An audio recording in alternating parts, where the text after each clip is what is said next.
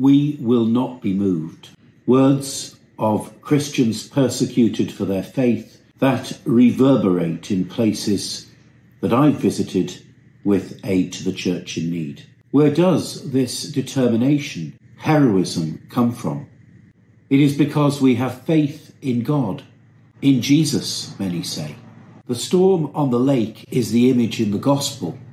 It is the tempest of the disciples and so of our lives as modern day followers of Christ. Why are you frightened? How is it that you have no faith? Where is Jesus who died and rose for us when we fear we are going down? Our persecuted brothers and sisters in need teach me so much to always trust in He whom even the wind and sea obey.